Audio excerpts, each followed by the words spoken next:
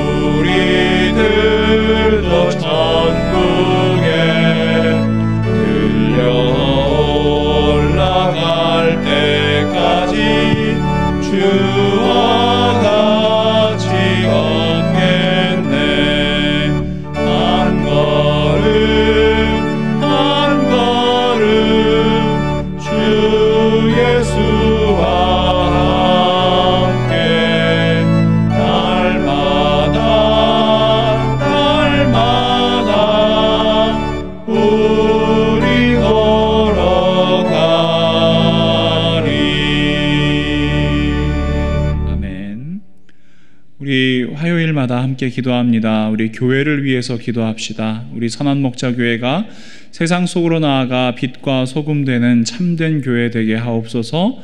이를 위하여 세우신 우리 교회 모든 리더십들이 한 마음 한뜻 되어 하나님께서 기뻐하시는 섬김과 헌신의 사명 감당하게 하옵소서. 우리 지난 주일에 주신 말씀 기억하며 기도합시다. 우리 모든 성도들이 이 세상의 것이 아닌 하나님 나라를 소망하며 하나님께서 주신 복의 통로로 살아가게 하옵소서. 우리 기도 제목을 가지고 함께 마음 모아 기도하겠습니다.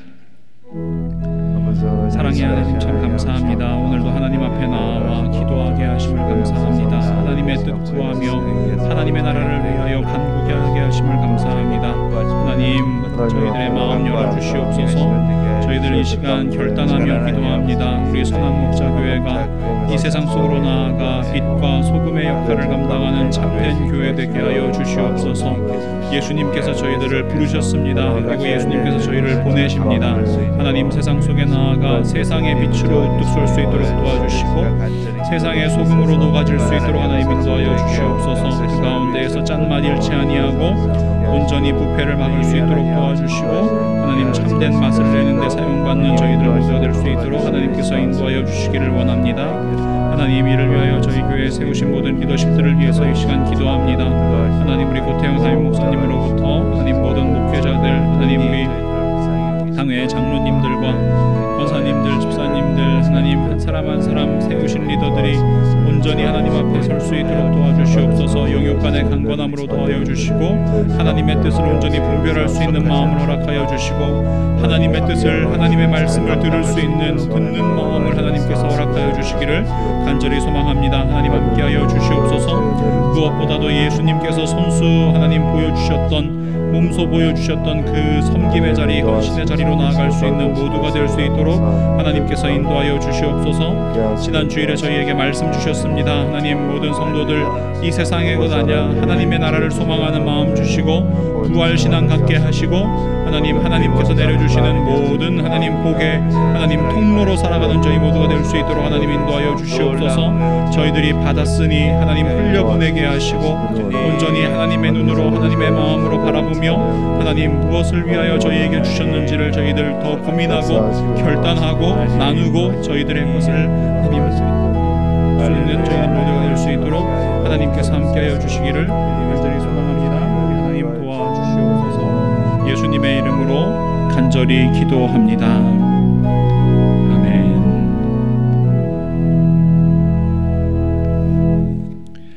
찬송가 218장 한 장 더 찬양하겠습니다.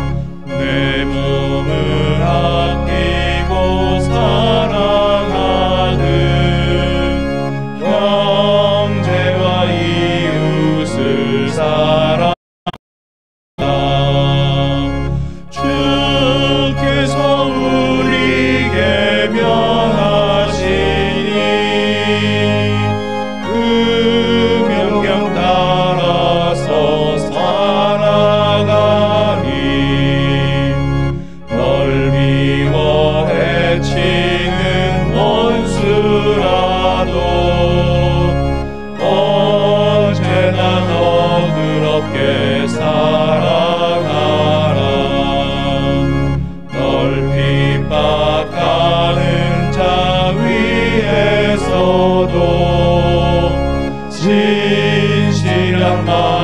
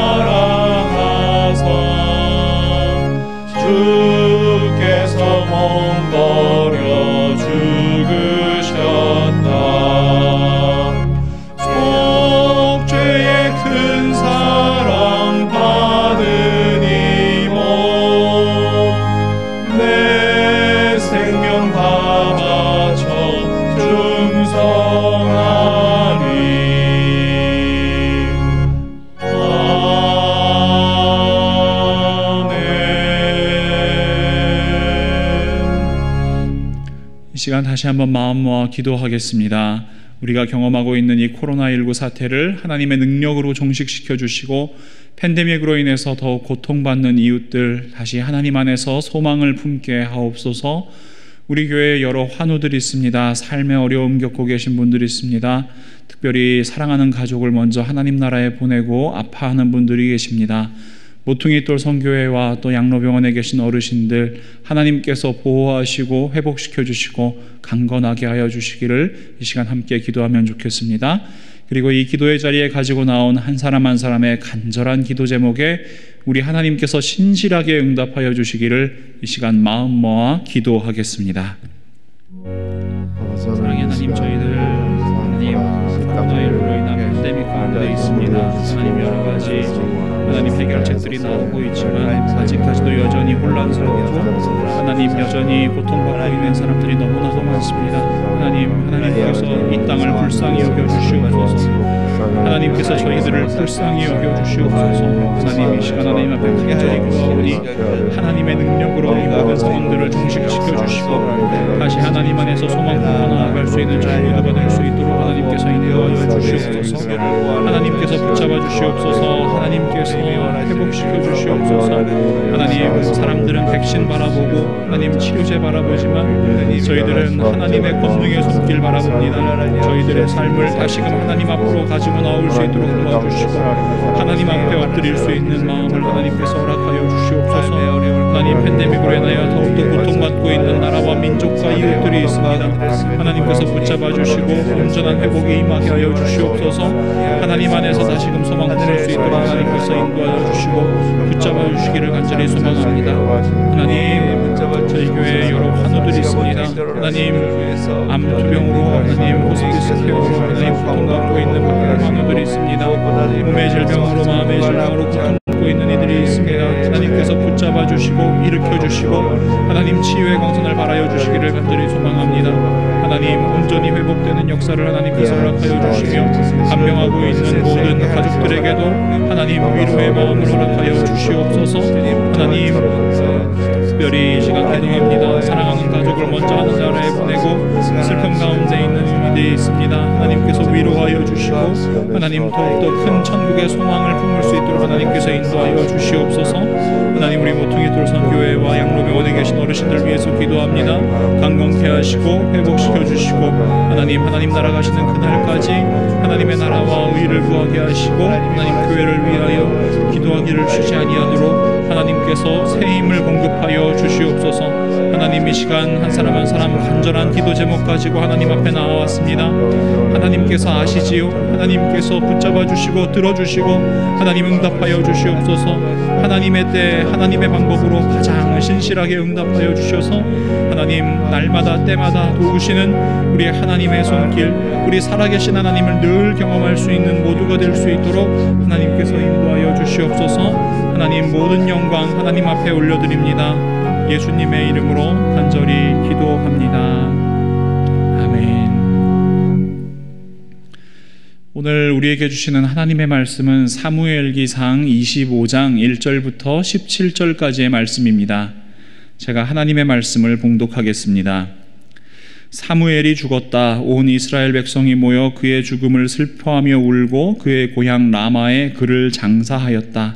그 뒤에 다윗은 바란 광야로 내려갔다. 그 무렵에 마온에 어떤 사람이 살았는데 갈멜의 목장을 가지고 있었고 아주 잘 사는 사람이었다. 그가 가진 가축은 양떼가 삼천 마리, 염소떼가 천 마리였다. 그는 마침 갈멜에 와서 양털을 깎고 있었다. 그 사람의 이름은 나발이며 그 아내의 이름은 아비가일이었다.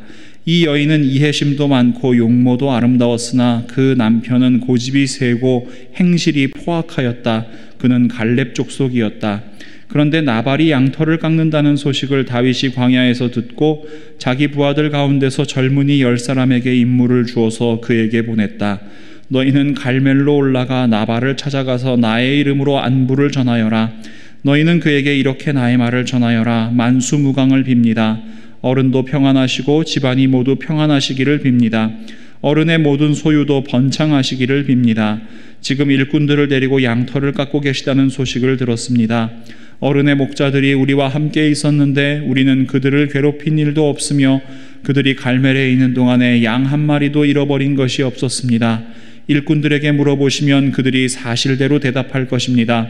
그리고 우리들이 잔치를 벌이는 좋은 날에 어른을 찾아왔으니 제가 보낸 젊은이들을 너그럽게 보시고 부디 어른의 종들이나 다름없는 저의 부하들과 아들이나 다름없는 이 다윗을 생각하셔서 먹거리를 좀 들려보내 주십시오. 다윗의 젊은이들이 도착하여 다윗의 이름으로 나발에게 이 모든 말을 전하고 그대로 전하고 조용히 기다렸다. 드디어 나발이 다윗의 젊은이들에게 대답하였다. 도대체 다윗이란 자가 누구며 이세의 아들이 누구냐? 요즘은 종들이 모두 저마다 주인에게서 뛰쳐나가는 세상이 되었다.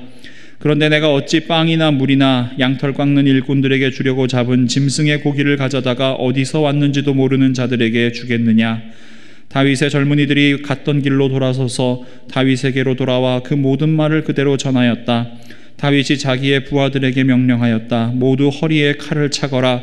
그들이 저마다 허리에 칼을 차니 다윗도 허리에 자기의 칼을 찼다. 400명쯤 되는 사람들이 다윗을 따라 쳐 올라가고 200명은 남아서 물건을 지켰다.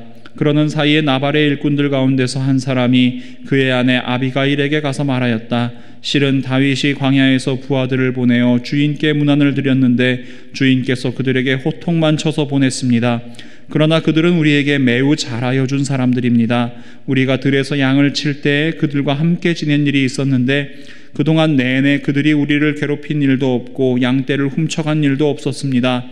오히려 우리가 그들과 함께 있으면서 양을 칠 동안에는 그들이 밤이나 낮이나 우리를 성벽과 같이 잘 보살펴 주었습니다. 그러므로 이제 마님께서 무엇을 어떻게 하셔야 할지 어서 생각하여 보시기 바랍니다. 다윗의 부하가 틀림없이 주인 어른께 안갚음을 할 텐데 주인 어른의 성격이 불같으시니 말도 붙일 수 없습니다. 아멘. 사랑하는 성도 여러분, 어떻게 하면 천국에 갈 수 있습니까? 우리 주일학교 시절에 많이 부르셨던 찬양이 있죠.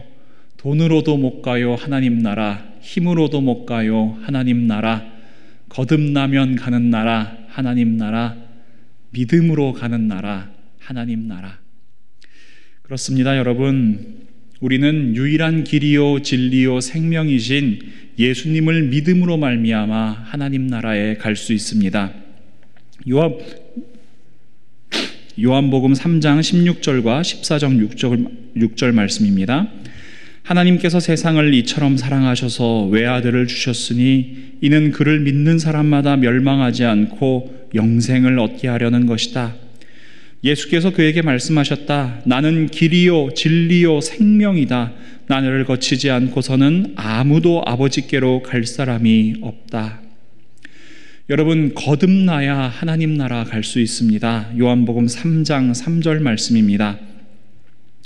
예수께서 그에게 말씀하셨다. 내가 진정으로 진정으로 너에게 말한다. 누구든지 다시 나지 않으면 하나님 나라를 볼 수 없다. 여러분 그렇다면 다시 한번 여쭙겠습니다. 여러분은 다시 태어나셨습니까? 여러분은 정말로 예수님을 믿고 계십니까? 마태복음 25장에는 이 하나님 나라에 대한 예수님의 말씀이 기록되어 있습니다. 특히 예수님께서는 최후의 심판 날에 사람들을 예수님의 우편과 예수님의 좌편으로 나누실 것이라고 말씀하십니다. 마태복음 25장 31절부터 33절 말씀입니다. 인자가 모든 천사와 더불어 영광에 둘러싸여서 올 때에 그는 자기의 영광의 보좌에 앉을 것이다. 그는 모든 민족을 그의 앞에 불러 모아 목자가 양과 염소를 가르듯이 그들을 갈라서 양은 그의 오른쪽에 염소는 그의 왼쪽에 세울 것이다. 오른편에 선 양은요, 영원한 하나님 나라에 들어갈 사람들을 의미합니다. 그러나 왼편에 설 염소는 영원한 형벌에 들어갈 사람들을 의미합니다. 그렇다면 그 기준이 무엇입니까? 예수님께서 말씀하십니다. 마태복음 25장 34절부터 40절 말씀입니다.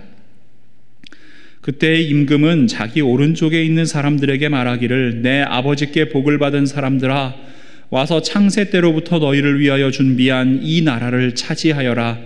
너희는 내가 줄일 때에 내게 먹을 것을 주었고 목마를 때에 마실 것을 주었으며 나그네로 있을 때에 영접하였고 헐벗었을 때에 입을 것을 주었고 병들어 있을 때에 돌보아 주었고 감옥에 갇혀 있을 때에 찾아 주었다 할 것이다. 그때의 의인들은 그에게 대답하기를 주님, 우리가 언제 주님께서 줄이신 것을 보고 잡수실 것을 드리고 목마르신 것을 보고 마실 것을 드리고 나그네 되신 것을 보고 영접하고 헐벗으신 것을 보고 입을 것을 드리고 언제 병드시거나 감옥에 갇히신 것을 보고 찾아갔습니까? 하고 말할 것이다. 임금이 그들에게 말하기를 내가 진정으로 너희에게 말한다. 너희가 여기 내 형제 자매 가운데 지극히 보잘 것 없는 사람 하나에게 한 것이 곧 내게 한 것이다 할 것이다. 예수님께서는 하나님 나라에 가는 방법에 대해 아주 아주 명확하게 말씀하십니다.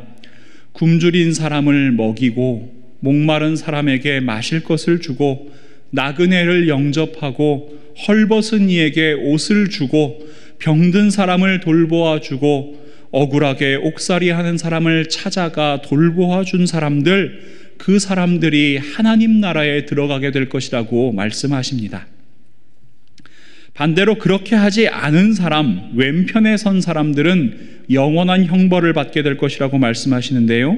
마태복음 25장 45절과 46절 말씀입니다. 그때 임금이 그들에게 대답하기를 내가 진정으로 너희에게 말한다. 여기 이 사람들 가운데서 지극히 보잘것 없는 사람 하나에게 하지 않은 것이 곧 내게 하지 않은 것이다 하고 말할 것이다. 그리하여 그들은 영원한 형벌로 들어가고 의인들은 영원한 생명으로 들어갈 것이다. 너무나도 명확한 기준입니다.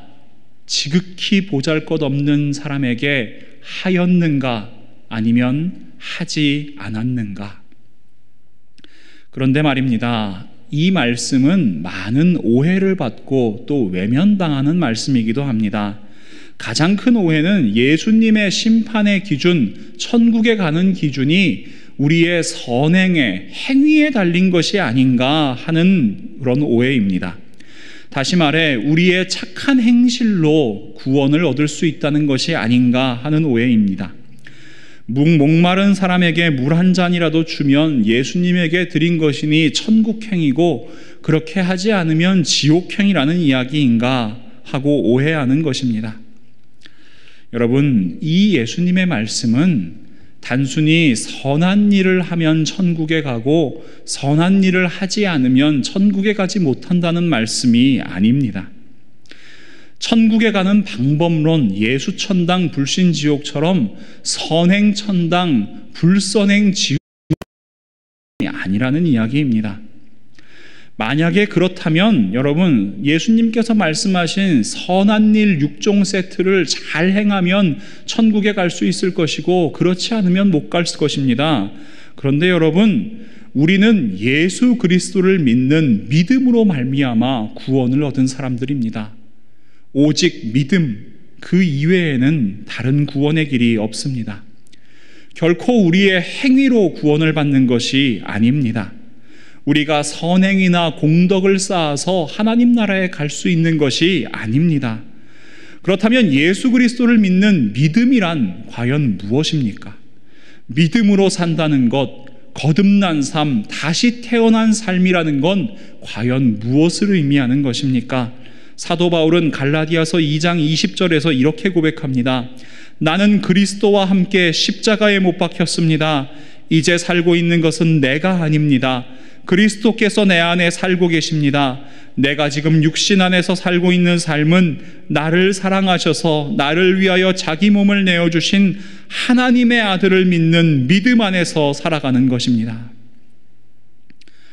사랑하는 성도 여러분, 거듭난 삶, 바로 나는 십자가에서 죽고 예수 그리스도께서 내 안에 사시는 삶을 의미합니다. 나는 죽고 예수께서 사시는 삶을 바로 그리스도인이라고 이야기합니다. 그래서 예수님께서 우리에게 하시는 말씀은 단지 천국에 갈 수 있는 방법론이 아니라 예수 그리스도의 마음으로 예수 그리스도의 관심으로 살아가고 있는가 하는 말씀입니다. 내가 지금 예수님과 함께 살아가고 있는지 예수님의 마음으로 세상을 바라보고 있는지 정말로 예수님께서 관심을 가지시고 계시고 예수님께서 손 내밀기를 원하시는 그곳을 내가 바라보고 나의 손길을 내밀고 있는지 그것에 대한 말씀입니다. 정말 예수님과 함께 살아가고 있다면 내가 거듭난 삶, 그리스도인의 삶을 살아가고 있다면 예수님께서 관심을 가지시는 곳에 나의 관심도 머물 것입니다. 그러나 반대로 예수님과 함께하는 삶, 거듭난 삶을 살아가고 있지 않다면 나의 관심은 예수님의 관심과는 전혀 다른 엉뚱한 곳을 향하고 있을 것입니다. 마태복음 25장 40절 말씀을 다시 한번 읽어드립니다. 임금이 그들에게 말하기를 내가 진정으로 너희에게 말한다. 너희가 여기 내 형제 자매 가운데 지극히 보잘 것 없는 사람 하나에게 한 것이 곧 내게 한 것이다 할 것이다. 여러분, 예수님의 관심이 어디에 있습니까? 예수님의 관심은 지극히 보잘 것 없는 사람에게 있습니다. 연약한 사람, 고통받고 있는 사람, 세상에서 소외된 사람, 그래서 세상은 아무도 관심 갖지 않는 그 사람, 바로 그 사람에게 우리 예수님의 관심이 가 있습니다. 여러분, 우리 예수님은요, 내 눈앞에 있는 아흔아홉 마리 양이 보이는 것이 아니라 잃어버린 한 마리 양이 눈에 밟혀서 그 양을 찾고 그 양을 찾아 헤매는 것, 그것이 바로 예수님의 마음인 것입니다. 그러니까 예수님의 오른편에 설 사람들, 그들에게는 예수님께서 바라보시는 사람들이 보이는 겁니다. 지극히 보잘 것 없어서 세상에서는 잘 눈에 띄지 않는 사람들이 그 예수님 오른편에 설 사람들에게는 보이는 겁니다. 왜요? 그것이 예수님의 관심이고 예수님의 마음이기 때문입니다. 그러나 왼편에 선 사람들, 영원한 형벌에 들어갈 사람들에게는 지극히 작은 사람들이 보이지 않습니다. 눈에 들어오질 않습니다. 전혀 관심이 없습니다.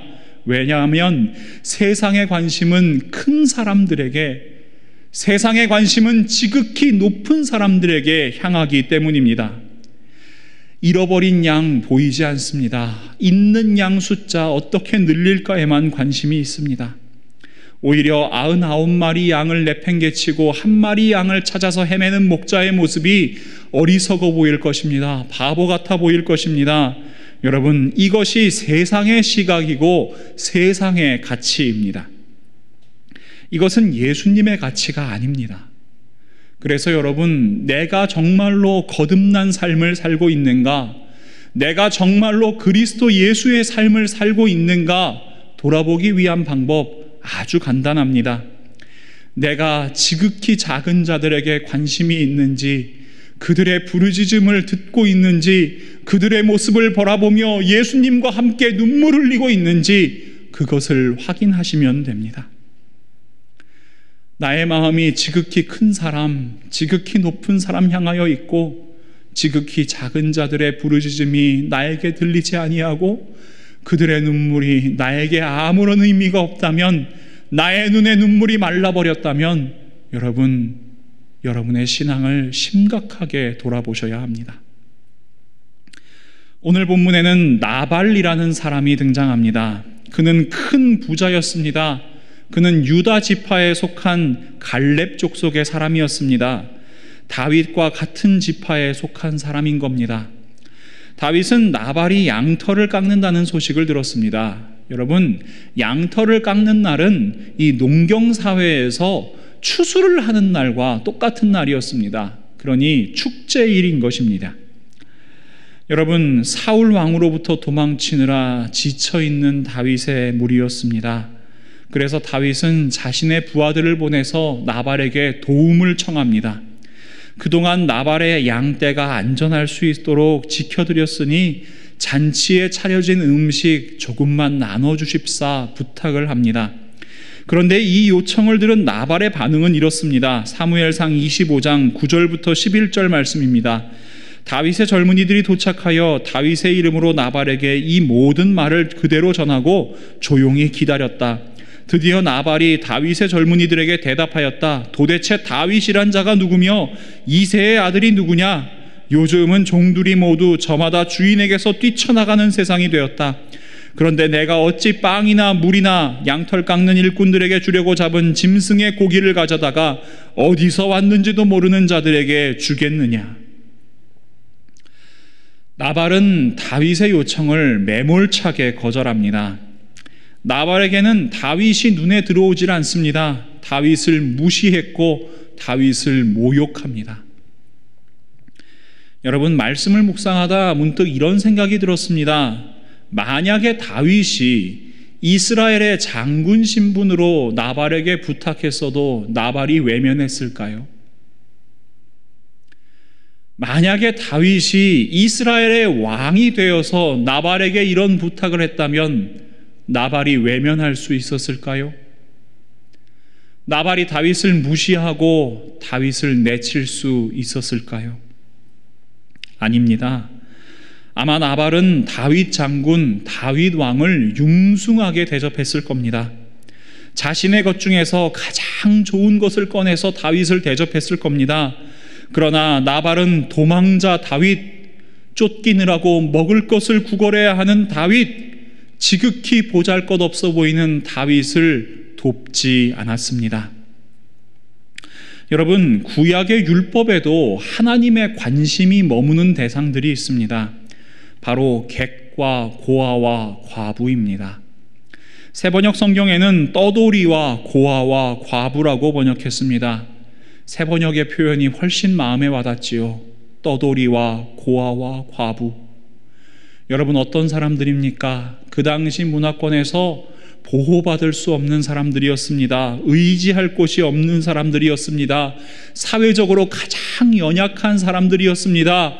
지극히 작은 자, 지극히 작아서 보잘 것 없는 자, 사람들의 눈에 띄지 않는 사람들이었습니다. 하나님께서는 바로 이런 사람들을 바라보셨습니다.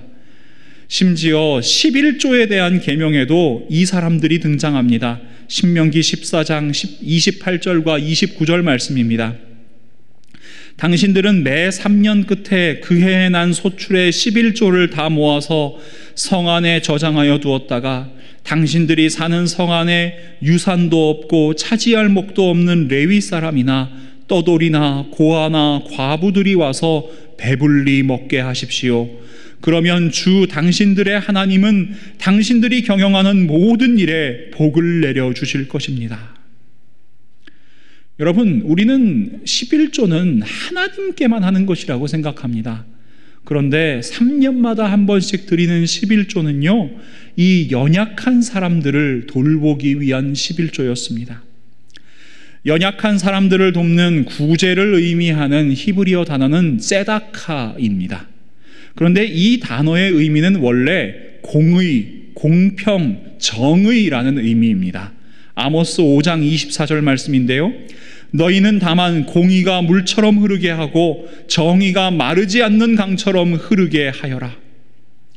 여러분, 하나님의 공의가 어떻게 흘러갑니까? 하나님의 정의가 어떻게 이 땅에 흘러가 이 땅을 촉촉히 적실 수 있습니까? 여러분, 구제를 통해서 이루어지는 것입니다. 우리는 주일에 담임 목사님으로부터 우리가 받은 복을 이 땅 가운데로 유통시키는 복의 통로로 살라는 말씀을 들었습니다. 여러분, 그것이 바로 하나님의 공의가 물처럼 정의가 마르지 않는 강처럼 이 땅 가운데 흐르게 하는 방법입니다. 신명기 15장 11절 말씀입니다. 당신들은 반드시 손을 뻗어 당신들의 땅에서 사는 가난하고 궁핍한 동족을 도와주십시오. 그렇다고 하여 당신들이 사는 땅에서 가난한 사람이 없어지지는 않겠지만 이것은 내가 당신들에게 내리는 명령입니다. 여러분, 이것이 우리 하나님 아버지의 마음입니다. 나발은 유대인이었습니다. 그것도 믿음의 결단과 헌신의 대명사인 갈렙의 후손이었습니다. 믿음의 명문 가정이었습니다. 여러분, 나발이 이 율법의 말씀을 몰랐을까요? 그는 분명히 알았습니다. 너무나도 잘 알았습니다. 그러나 그는 이 율법을 머리로만 알았습니다. 율법에 담겨 있는 하나님의 마음과 하나님의 사랑을 알지 못했습니다. 지극히 작은 사람들, 떠돌이와 고아와 과부를 돌보시는 그 하나님의 마음을 전혀 알지 못했습니다. 그래서 그는 가난하고 또한 소외된 그 자신의 동족에게 자신의 손을 내밀지 않았습니다. 자신의 재산을 움켜쥐고 자신의 양털 깎는 것에는 관심이 있었지만 자신에게 도움을 구하는 지극히 작은 사람에게는 관심을 갖지 않았습니다. 여러분, 나발이라는 이름은 일종의 언어 유희입니다. 나발이라는 이름은 원래 어리석은 자, 바보라는 뜻입니다. 어떤 누구도 자신의 자식의 이름을 바보라고 짓지는 않겠지요. 자신의 것 움켜쥐는 사람, 그것밖에 모르는 사람, 그래서 하나님의 마음, 하나님의 사랑 알지 못하는 사람, 지극히 보잘 것 없는 사람을 바라보고 그를 돕지 않는 사람을 하나님께서는 하나님의 말씀에 바보라고 어리석은 사람이라고 기록하고 계십니다. 박노의 시인이 쓴 그 겨울의 시라는 시가 있는데요. 제가 한번 여러분에게 읽어드리겠습니다. 그 겨울의 시 박노해 문풍지 우는 겨울밤이면 윗목 물그릇에 살얼음이 어는데 할머니는 이불 속에서 어린 나를 품어 안고 몇 번이고 혼잣말로 중얼거리치네. 오늘 밤 장터의 거지들은 괜찮을랑가? 소금 창고 옆 문둥이는 얼어 죽지 않을랑가? 뒷산의 노루 토끼들은 굶어 죽지 않을랑가? 아, 나는 지상에서 가장 아름다운 신앙송을 들으며 잠이 들곤 했었네. 찬바람아 잠들어라. 해야, 해야, 어서 떠라. 한겨울 얇은 이불에도 추운 줄 모르고 왠지 슬픈 노래 속에 눈물을 훔치다가 눈산의 새끼 노루처럼 잠이 들곤 했었네. 사랑하는 믿음의 동역자 여러분, 이 따뜻한 마음이 우리의 마음 되기를 소망합니다. 이 따뜻한 예수님의 마음이 우리의 마음 되기를 소망합니다. 예수님께서 바라보시는 지극히 작은 사람들, 지극히 보잘 것 없는 사람들 함께 바라보며 우리의 손을 내밀 수 있기를 소망합니다. 여러분, 나발로 어리석은 사람으로 이 땅을 살아가지 마십시오. 히브리서 13장 11절과 2절 말씀으로 여러분을 권면합니다. 서로 사랑하기를 계속하십시오. 나그네를 대접하기를 소홀히 하지 마십시오. 어떤 이들은 나그네를 대접하다가 자기들도 모르는 사이에 천사들을 대접하였습니다. 사랑하는 믿음의 동역자 여러분, 오늘 하루도 우리 예수님의 마음으로 지극히 작은 사람들 바라봅시다. 그리고 우리의 삶의 자리에서 작은 손길을 내밉시다. 그렇게 오늘 하루 천사들을 우리 예수님을 마음껏 대접하는 복된 삶 살아가실 수 있기를 예수님의 이름으로 간절히 축원합니다. 우리 이 시간 하나님의 말씀 붙들고 함께 기도하겠습니다. 우리가 예수님 믿고 거듭난 인생임을 고백하고 예수님의 마음, 예수님의 시각, 예수님의 관심으로 살아가게 하옵소서. 그리고 지극히 작은 사람들, 연약하고 힘든 사람들과 나눔을 통해 예수님을 대접하는 삶을 살아가게 하옵소서. 우리 기도 제목으로 함께 기도하겠습니다. 사랑의 하나님 참 감사합니다. 하나님 오늘도 하나님 말씀으로 말씀하여 주셨습니다. 하나님 저희들이 예수님 믿고 거듭난 인생임을 고백하는 삶 살아가게 하여 주시옵소서. 나의 욕심과 나의 마음과 나의 욕망으로 살아가는 것이 아니라 하나님의 마음, 예수님의 마음, 예수님의 사랑, 그 예수님의 시각으로 살아갈 수 있도록 하나님께서 인도하여 주시옵소서. 하나님, 예수님께서 바라보시는 곳을 바라보고 예수님께서 손 내미는 곳을 하여 저희의 손을 내밀 수 있도록 하나님 이 시간 저희에게 결단의 마음을 허락하여 주시옵소서. 지극히 작은 사람들, 연약하고 힘든 사람들과 나누게 하시고 하나님 베풀게 하시고 하나님 그 사랑의 마음을 통하여 우리 예수님 대접하는 삶 살아가게 하여 주시옵소서. 우리 예수님과 함께 먹고 예수님과 함께 마시는 삶 살아가게 하여 주시옵소서. 이 땅 가운데 하나님 나라를 이루어가는 저희 모두가 될 수 있도록 하나님 저희들의 작은 헌신과 작은 결단 하나님 가장 귀한 것으로 사용하여 주시옵소서. 예수님의 이름으로 간절히 기도합니다.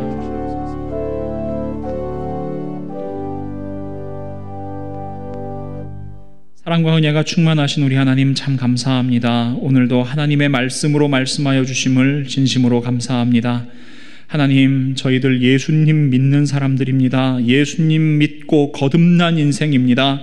하나님, 저희들의 이 고백과 결단이 무엇을 의미하는지 다시 한번 깊이 묵상하는 하루 되게 하여 주시옵소서. 저희 안에 계신 예수님의 마음으로, 예수님의 시각으로, 예수님의 관심으로, 예수님의 사랑으로 살아가게 하여 주시옵소서. 예수님께서 바라보시는 곳을 함께 바라보고 예수님께서 손 내미시고 예수님께서 발걸음을 옮기시는 그곳으로 저희의 손길과 저희의 발걸음도 향하게 하여 주시옵소서. 그렇게 예수 그리스도의 심장 가지고 이 땅을 향하여 담대히 나아가는 저희 모두가 될 수 있도록 하나님 저희의 인생 사용하여 주시옵소서. 지극히 작은 사람들, 연약하고 힘든 사람들과 저희의 삶을 나눌 수 있게 하여 주시옵소서. 그 나눔을 통하여 저희들의 작은 손길을 통하여 오병이어의 놀라운 역사가 나타나게 하시고 하나님 저희들은 알지 못하지만 우리 예수님 대접하는 아름다운 삶 살아가게 하여 주시옵소서 오늘도 그 결단으로 믿음으로 나아갈 때 우리 하나님의 나라가 이 땅 가운데 이루어지는 데에 저희들의 작은 믿음을 저희들의 작은 헌신을 우리 하나님 가장 귀한 것으로 사용하여 주시옵소서 예수님의 이름으로 간절히 기도합니다. 아멘. 하늘에 계신 우리 아버지, 아버지의 이름을 거룩하게 하시며 아버지의 나라가 오게 하시며 아버지의 뜻이 하늘에서와 같이 땅에서도 이루어지게 하소서. 오늘 우리에게 일용할 양식을 주시고 우리가 우리에게 잘못한 사람을 용서하여 준 것 같이 우리 죄를 용서하여 주시고 우리를 시험에 빠지지 않게 하시고 악에서 구하소서 나라와 권능과 영광이 영원히 아버지의 것입니다. 아멘.